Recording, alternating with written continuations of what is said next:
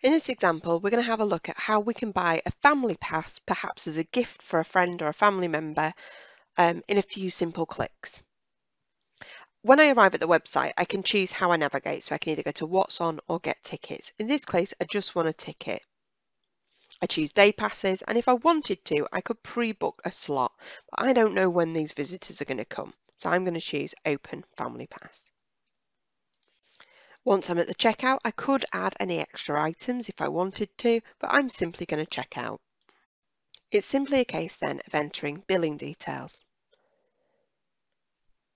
Enter the email address where we want that confirmation email to go to, and the inbuilt postcode lookup will validate the address, ensuring the information is entered accurately.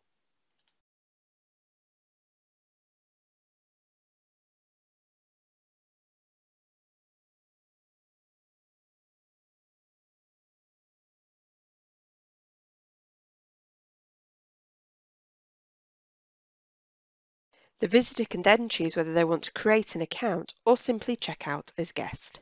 It's really important to maximise customer experience, so with VisiTickets you can offer a range of payment options, including Apple Pay and even PayPal.